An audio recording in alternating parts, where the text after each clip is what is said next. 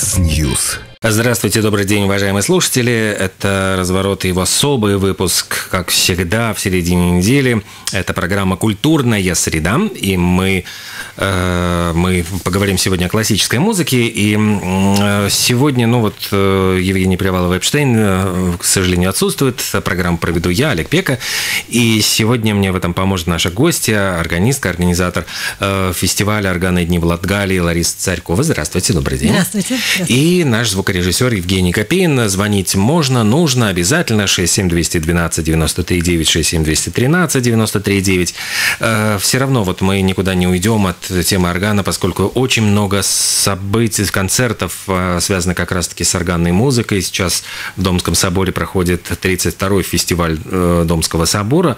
И вот, может быть, нашу афишу мы э, можем начать с, с концерта я понимаю, прямо сегодняшнего, да, сегодняшнего, вы, вы при, причем принимаете в нем тоже непосредственное участие. А, да, сегодня в 7 вечера в Домском соборе ожидается замечательный концерт э, в рамках 32-го э, международного фестиваля Рижский Домский собор. А, выступит органный дуэт э, Ивета и Яны Спелше вместе с двумя ударниками. И программа очень-очень интересная, очень темпераментная и красочная. Я в этом концерте вместе со своей коллегой Йоландой Боринской принимаю непосредственное участие как ассистент, потому что все мы знаем, что орган Домского собора очень большой – один из самых лучших в Европе. Там очень-очень много регистров, 126, и очень много педалей внизу. И поскольку органисты заняты, они играют и руками, и ногами, так мы, ассистенты, помогаем им переключать краски. Угу. Делаем более богатое это звучание органа.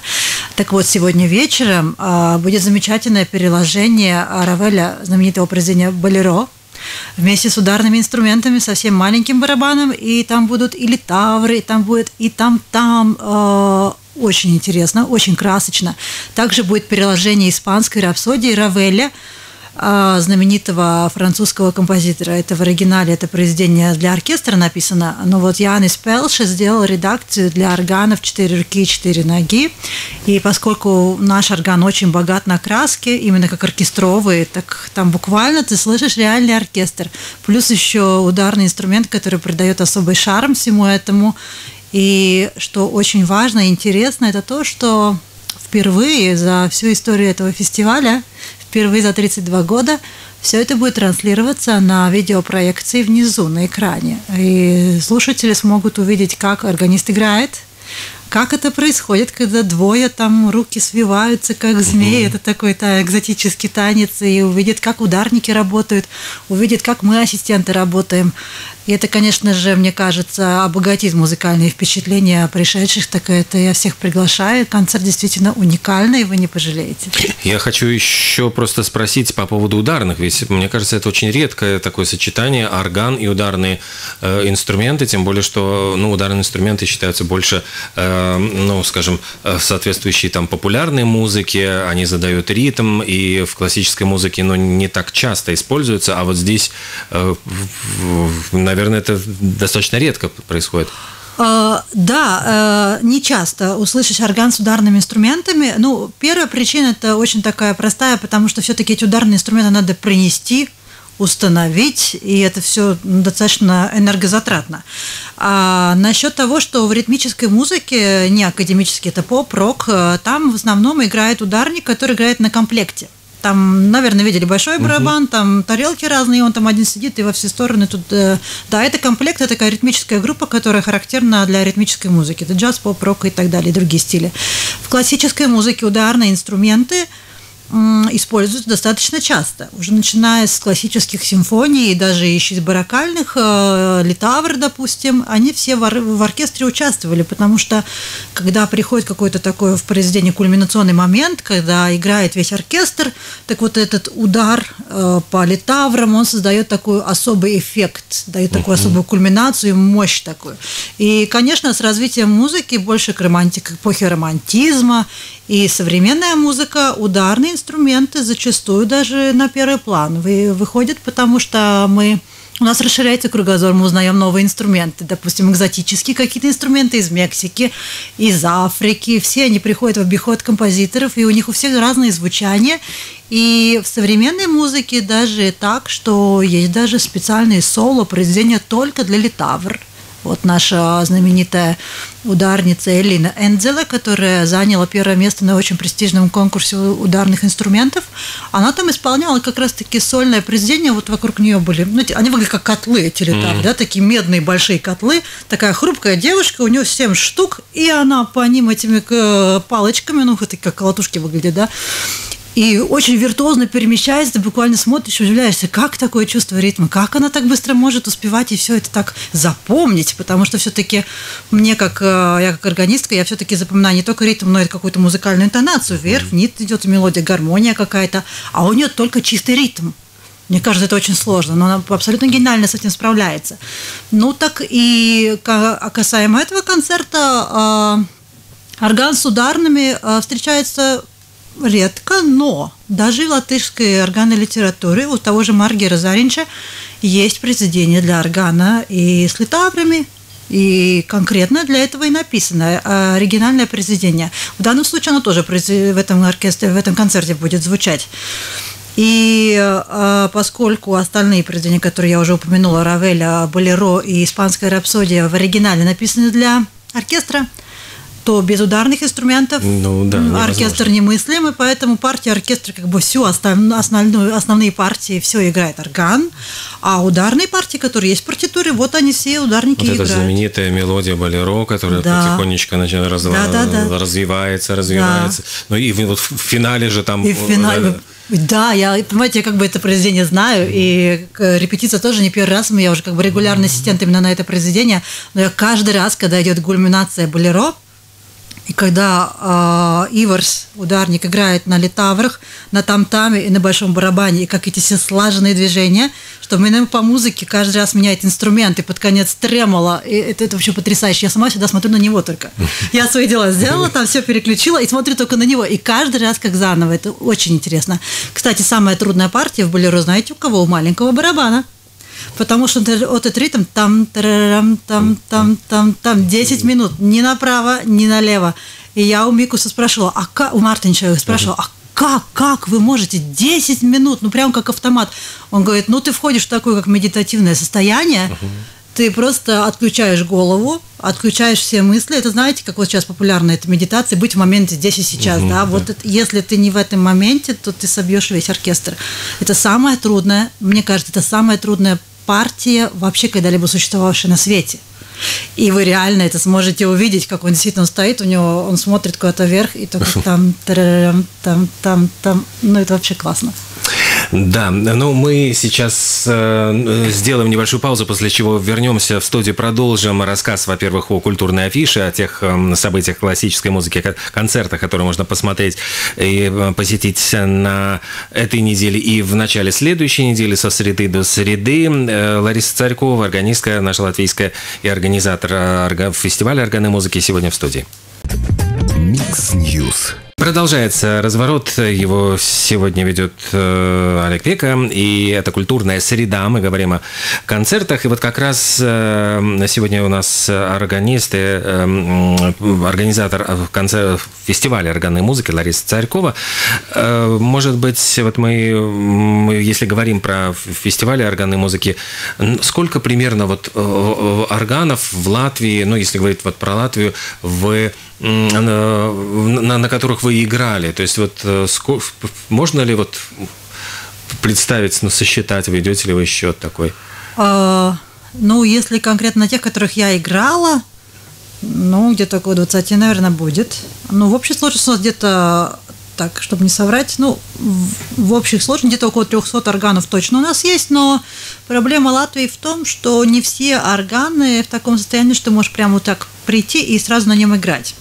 А, есть большое количество органов, которые действительно в хорошем техническом состоянии, но еще больше тех, которым нужна помощь, которые надо настраивать технически, их улучшать, в общем, мастера звать, потому что особенно это характерно для провинции, для таких э, дальних регионов, потому что органы находятся в ведении общины конкретной, да, церкви, и не всегда, не всегда есть финансовые возможности, чтобы его в идеальном состоянии поддерживать.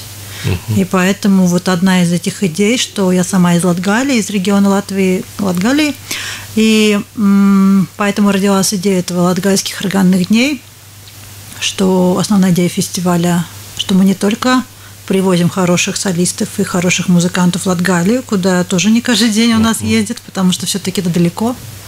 Никому не хочется, основная жизнь идет в Риге, в Цесисе, ну, в Алмера, ну, в Энспил сейчас, Лепая, да, да, а в ту сторону никто особо-то и не едет. Ну, в Резекне построили сейчас вот концертный зал Горс, слава богу, хоть что-то происходить начало, да, и, но в церквях, в принципе, да, вот именно благодаря тому, что фестивале происход... начали происходить эти концерты, и одна из главных наших задач – это не только организовывать эти концерты, привозить музыкантов, но и собирать пожертвования на реставрацию органов. Угу. И каждый год мы выбираем конкретный орган, которому мы помогаем и за эти 10 лет, который этот фестиваль уже идет, э, мы уже можем гордиться, что есть дела, которые уже завершены. То, что, вот, допустим, в Роговке два года назад абсолютно сделали до конца отреставрировали орган. Очень э, важный исторический орган, э, который был построен в Латвии, Колбе, мастер Колбе. Один из самых его больших органов. И да, мы тоже свою артаву туда, свою лепту внесли – и два года назад его уже все, он уже, он уже ну, абсолютно идеальное состояние. Сейчас вот Велика уже в процессе скоро, я думаю, год-два и закончится. Там мы тоже принимали участие. И, ну, да, так что а как, как вообще проходит этот фестиваль? В каких городах э, и какая программа обычно фестиваля? Угу. Фестиваль обычно происходит во второй половине июля. В этом году мы начинаем 12 числа, это вот в эту пятницу, угу.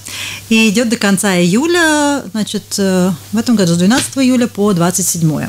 А есть традиционные места, где мы проводим концерты. Это Карсово, там проходит концерт особых гостей, в который мы приглашаем людей, которые, музыкантов, которые очень э, известные не только в Латвии, но и за рубежом, лауреатов Большого музыкального приза, ну, таких людей, которых каждый день в Латгалии не увидишь, да.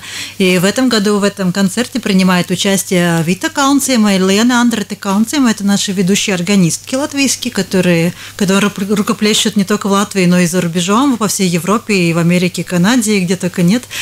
И вместе с ним будет выступать э, молодая, молодой сопран Лаура Пурена, которая в 2016 году стала лауреатом конкурса «Таланты Инессы Галанте». Угу. Так что очень замечательный концерт. Также традиционное место у нас, естественно, э, заключительный концерт фестиваля – это Резекна, кафедраль Сердца Христова – я из сердца катедралы. И там у нас происходит заключительный концерт, и также мы присуждаем приз молодому органисту Латгалии, поскольку у нас и также есть традиционный концерт для молодых органистов, которые учатся пока еще в музыкальных школах на специальности орган. В этом году они играют в, Бал, в Балвской лютеранской церкви. И так вот мы следим целый год, как угу. они развиваются, как они выступают, чему новому они научились, и самому-самому такому активному и талантливому присуждается этот нас мы учредили такой приз, и вот он на заключительном концерте присуждается. Э, в этом году еще у нас такая новость, что мы организуем также и мастер-классы для молодежи. Все-таки юбилейный год, 10 лет. Так вот, их проведут а, замечательный органный дуэт из Санкт-Петербурга и Печор, Дина Икхина и Денис Маханьков. Они, мне кажется, у вас были когда-то в гостях. И вот а у них как раз-таки, несмотря на свой достаточно молодой возраст, у них очень большой опыт работы именно с детьми и с молодежью. То, что все мы знаем, одно дело учить взрослого человека, который уже выбрал свой путь и реально понимает, зачем ему это надо и почему это так делать. А другое дело работать с подростком или с ребенком, который может быть, еще не до конца определился. Он еще, может быть, а, ну, как бы сложно, несложно, ну, непонятно. А тут приезжает, и какие-то новые идеи, какие-то новые впечатления. И мне кажется, это будет очень хорошо и полезно а, деткам. А аудитория, вот насколько, кто ваш э, зритель, слушатель, то есть насколько вот э, жители Латгалии э, ну, поддерживают этот фестиваль своим посещением? О, да, за, за, этот, за этот период, что мы работаем, принципе, мы уже стали традиционным мероприятием, нас ждут и спрашивают, когда же мы будем, в следующем году будем, а в каких местах вы будете. И очень часто бывает такая ситуация, что сами церкви, э, представители церквей звонят и спрашивают, а когда вы к нам приедете? А почему вы нас сегодня в этом году не позвали? Я говорю, ну, у нас конкретное количество концертов, как бы всем не можем, но у нас как бы уже очередь идет, даже расписана вперед. Точно такая же ситуация и с музыкантами, что они уже как бы вперед записываются, мы хотим у вас участвовать, когда можно. Я говорю, ну, этот год, следующий год точно нет, ну, вот через два года. А, и аудитория у нас, конечно, местные латгальские жители, а, прихожане церквей, а, молодежь, которая в том регионе есть. Также на лето обычно к своим родителям приезжают э, родственники, дети, внуки угу. и так далее. И очень часто, очень часто бывает, что среди публики есть и туристы из-за рубежа, из, были из Франции, были из Испании, были даже из Америки, из Норвегии. Ты просто удивляешься, как, как так все, как, как, в принципе, какой маленький у нас мир, да. То есть получается, что туристы приезжают, э, ну, посмотреть регион да. Латвии и заодно, ну, это И вот заодно, так, да. Ну, да, да, да, да, да, потому что обычно, когда идут в Латгалию, да, едут в Латгалию, они смотрят это э, туризм, так бы они смотрят природу, а они обязательно, у них какая-то культурная программа идет, они какие-то музеи посещают, и обязательно, обязательно э, храмы храмы, они ходят очень часто, туристы, и во всех туристических э, информационных центрах есть информация о нашем фестивале, и они очень-очень с удовольствием за раз и объединяются. Ну, вот вы рассказывали про то, что э, поддерживаете молодых, э, начинающих, еще только проходящих обучение органистов, а вот насколько, э, ну вот мы на этом рынке, условно говоря, органной музыки, вот есть потребность в новых музыкантах, и нет ли опасности, что вот на эти 300 органов будет, ну, 300, условно говоря, музыкантов, и вот уже будет тяжело им э, получить, потому что ведь это же не скрипка, которую может, ну, вот человек приобретает свой собственный инструмент, а э, орган, э, вот количество органов сколько есть, столько есть, и больше, наверное, уже не будет.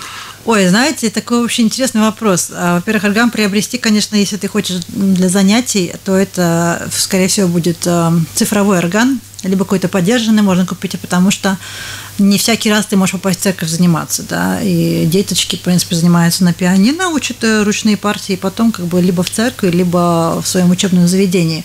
А насчет перепродукции, а, это палка о двух концах, потому что во-первых, учиться на органиста это достаточно сложно.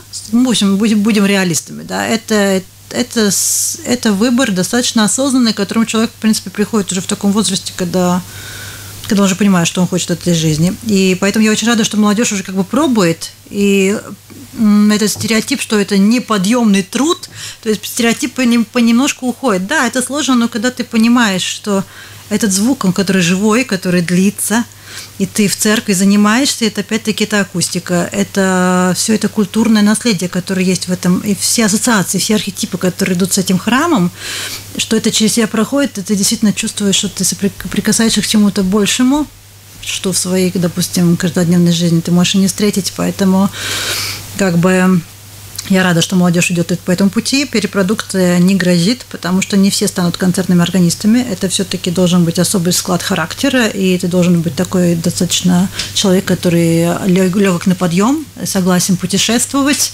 проводить долгие часы на репетициях перед концертом, чтобы нам, допустим, подготовить часовую концертную программу. Мы до этого репетируем где-то часа 4-5 это не так, что мы приехали, чук-чук-чук попробовали, и давай, все, поехали, попилили, поиграли, да? Нет, и органист приходит, обычно солист приходит где-то за 2 часа до концерта, а органист приходит за 6 часов до концерта. И сидит там, собирает свои регистры, кнопочки, все записывает. В общем, на это не каждый готов.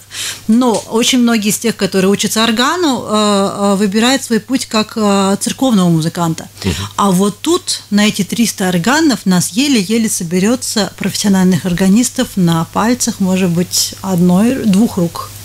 Потому что очень часто ситуация такая, что ты приезжаешь в провинциальную церковь, э, и мессу или богослужение, в зависимости от конфессии, играет просто местная женщина или мужчина, который ноты читать умеет.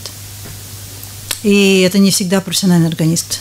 И mm. разное по-всякому бывает. И поэтому, когда мы, допустим, приезжаем в конкретное, конкретное место с концертами, то если есть органист, то мы с удовольствием показываем ему какой-то репертуар новый, показываем какие-то технические приемы. Вот сама точно помню, что одну органистку я сподвигла на то, чтобы она начала педали играть ногами. Не только руками тоже. Угу. Она говорит, не, ну как я там, пока я найду угу. там, где оно, пока я попаду, ой, да что вы, да нет, да лучше не надо, я ж там вообще...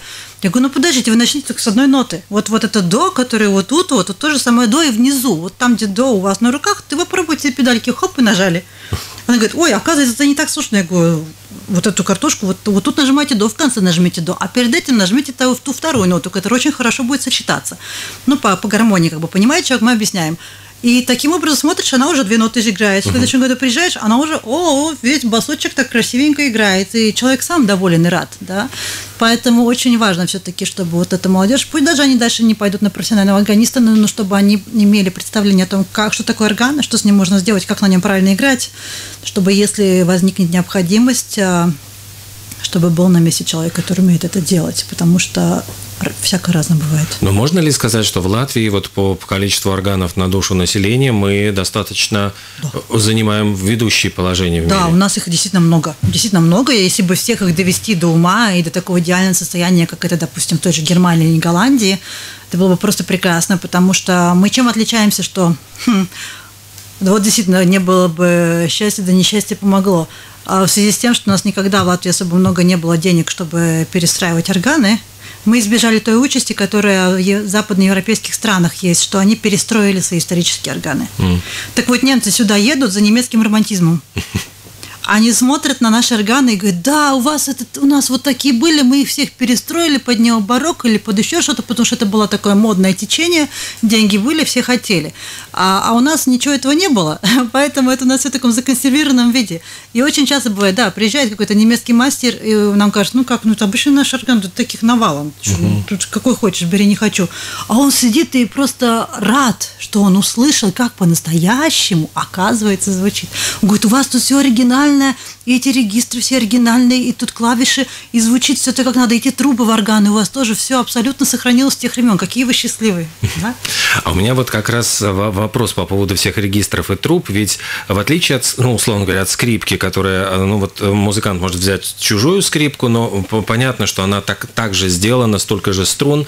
Каждый орган, у каждого органа вот есть огромное количество регистров, этих угу. педалей как вот вы играете? То есть вот, ну, это же практически абсолютно ну, другой вот орган Домского собора и орган там, ну, как условно говоря, в церкви да. там Святой Гертруды. Э, это разные совершенно да. инструменты. Как вот органисты справляются с этим? Э, с опытом, с опытом. Конечно, когда у тебя очень мало опыта, ты приходишь и каждый раз, как, как первый раз, и, да. Э, органы, в принципе, они, ты примерно знаешь, либо это романтического стиля орган, либо такого барокального стиля, тоже примерно представляешь, что там может быть.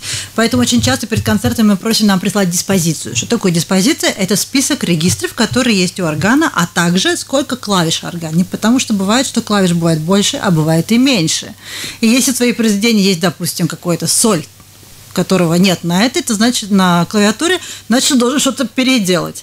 То же самое с педальными клавишами, количество тоже отличается. Также отличается и ширина клавиш, мензура так называемая. Скрипки, кстати, тоже. Ни один скрипач не будет играть концерт на чужой скрипке, mm-hmm. потому что мензура mm-hmm. отличается, он может просто не попасть. Им надо привыкнуть, ну, по крайней мере, недели две. А, а нам к органу надо привыкнуть за те пресловутые 6 часов, которые я приехала mm-hmm. до, до органа. Поэтому мы мега быстро адаптируемся ты должен понять, ага, значит, тут, короче, значит, там я играю октавы ниже, не там, где я привыкла, а иначе. Педали шире, значит, я должна подумать, что если я ногу, я уже знаю как бы расстояние, где находится от до до до, значит, я должна во время игры подумать, так, ногу надо подвинуть подальше, потому что иначе я не попаду просто-напросто на это до. Ну, либо в крайних случаях посмотреть. Допустим, я недавно играла в Угала, и там педаль, ну, действительно очень широкая, ты там действительно должен посмотреть, если тебе какой-то далеко куда-то нота отстоит от другой, должен реально посмотреть, куда ты ногу ставишь, потому что иначе будет совсем не туда, и это будет некрасиво.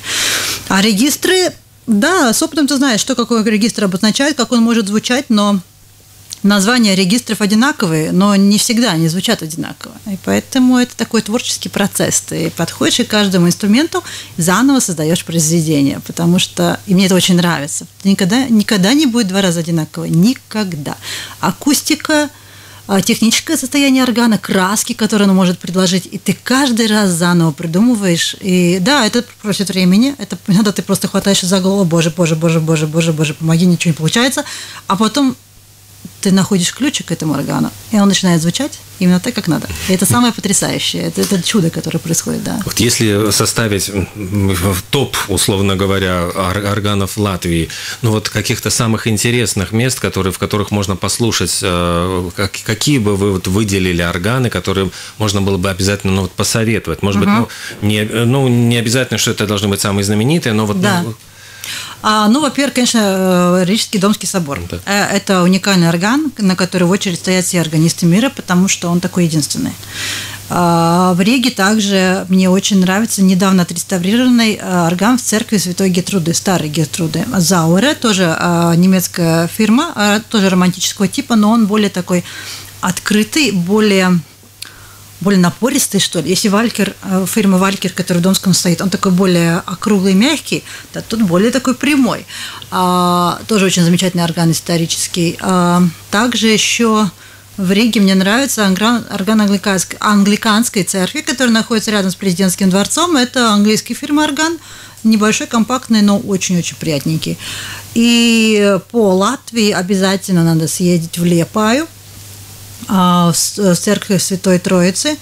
Там а, одно время этот орган был самым большим в мире, потому что он действительно четыре мануала, он огромный, он огромный, он исторический, там буквально прям веет стариной от него, ты как сел. Э, и если кто-то видел фотографию органного пульта, этой консоли органной, то там куча всех этих регистров, разноцветные, и там баракальные украшения. И звучит он просто потрясающе вообще в купе с этой церковью и со всем баракальным интерьером. А, очень нравится мне орган. Да, не просто на нем играть, кстати, да, но, но он потрясающий. Там такие краски. И обязательно в церковь Угала надо съездить. Это под Венспилсом, это в сторону Венспилса, потому что там орган построен был тогда, когда Баху было 15 лет. Mm. Это исторически единственный исторически автентический орган Латвии баракального типа. Но туда как паломничество должно быть просто, я не знаю, все органисты просто каждый год обязательно, как вот люди идут в Аглону, так ты должен угу. ехать в Угалы. Потому что если ты не играл на угольском органе, ты ничего не знаешь об эпохе барокко. Там э, специально, там э, он интонирован иначе, там он звучит иначе. А, допустим, там он звучит немножко повыше, чем обычные органы. И также интонация – поскольку расстояние между звуками э, разное, то когда ты играешь, допустим, барокальную музыку, то вот все эти знаки, которые там встречаются, Здесь они пока, здесь не знающему человеку сначала показывается, что так криво звучит, но в этом это вся изюминка, что гладко, гладко, гладко, и тут такой такой кривенький звук, который придает это как характер этой музыки. И раньше в барокальное время это называли чертовы квинты, допустим, да, или чертова нога вдруг вылезает. Все так гладко, гладко, ровно, и тут резко что-то такое. А-а-а. Да, и нашему слуху как бы мы привыкли к таким диссонансам, таким острым звучаниям. Нам как бы это так. А во времена барокко, когда действительно все звучания были такие мягкие, округлые, очень такие благозвучные, ну вот как григорианский хорал, да, ну примерно да, так да. ассоциация, да, все такие благозвучные. И тут какая-то нота, которая вообще не вписывается. Зато это эффект. Ну что же, у нас на самом деле вот очень мало времени осталось, а еще есть несколько э, событий. Но, наверное, самое главное, что нужно э, сказать, что 12 июля вот как раз-таки в Старой Церкви Святой Гертруды э, будет интересный концерт Антонио Вивальди «Времена года». Просто э, будет э, Елена Привалова-Эпштейн э, органом, я понимаю, а, исполнять роль оркестра. Да, да. Да, и Юрий Савкин будет играть, естественно, роль скрипки. Ну, замечательный вообще рижский скрипач. Это просто потрясающе. Мне кажется, он гений, гений просто. И Ирина Великжанина, замечательная виолончелистка, будет исполнять э, партию виолончели. И, в принципе, ребята молодцы, потому что они сделали свою собственную аранжировку этого произведения, достаточно трудного. И я слышала этот же концерт в апреле в церкви Святого Яна. Ой, всем советую, замечательная музыка. Ну и фестиваль музыки барокко, старинной музыки, в принципе, вот будет шедеврами мексиканского барокко концерт. И в Рундельском дворце 13 июля целый день будут проходить концерты. И прелесть этого, ну вот посещения этого мероприятия в том, что там костюмировано, все костюмировано, то есть вы как будто бы попадаете в 18 век, и вас встречают уже у входа в Рундельский дворец женщины там в париках, в старинных платьях, и вот все это, все это погружение вот в, в эту эпоху придает дополнительную изюминку. Ну и, конечно, здесь будет и шикарный, совершенно лучший арии из опер Генделя, будет петь Сергей Егерс, контртенор, с удивительным голосом совершенно. Ну и, по-моему, завершается всегда тоже временами года Вивальди концерт. Да, и хотелось бы отметить, почему особенно надо туда съездить, потому что здесь в основном будут играться на исторических инструментах, конечно же. Это значит, в скрипках это жильные струны, это мягче звук, а, те же самые барочные гитары, барочная арфа. И сама признаюсь, я никогда в жизни не видела барочную арфу так близко вообще. Надо будет обязательно съездить посмотреть. И действительно, а, музыканты, которые здесь собрались, они все мастера своего дела, и послушать автентичные мексиканский барокко. Это, мне кажется, уникальная возможность для Латвии. Ну и вот 14 июля в Домском соборе продолжается 32-й фестиваль Домского собора, и э, будет еще один концерт э, с такой достаточно обширной программой. Вот, и Илзе Рейне будет, я понимаю, играть на органе. Да. И будет арфа и также флейта. Угу, да, сочетание органа с арфой достаточно нетрадиционное. Очень, очень интересно, 14 июля у нас как раз-таки в Латгалии тоже угу. в Круспилсе будет тоже орган и арфа, только там другая будет органист и другая арфистка. Но в любом случае, да, это действительно очень редкое, уникальное сочетание инструментов, что обязательно стоит посмотреть и послушать. Э, не каждый раз такое видишь. Ну и если вот будете вы в Латгалии, то тогда обязательно обратите внимание, где можно найти расписание ваших концертов? Наверное, на а, Фейсбуке где Да, у нас есть на Фейсбуке своя страничка, где самая актуальная информация информация регулярно обновляется, и там же есть и контактный телефон, если кого-то интересуют какие-то вопросы, можно спокойно звонить. Огромное спасибо, Лариса Царькова, органистка, организатор вот органных дней в Латгалии. Сегодня была на нашей студии, это была программа «Культурная среда». Спасибо вам, до новых встреч. Спасибо, спасибо.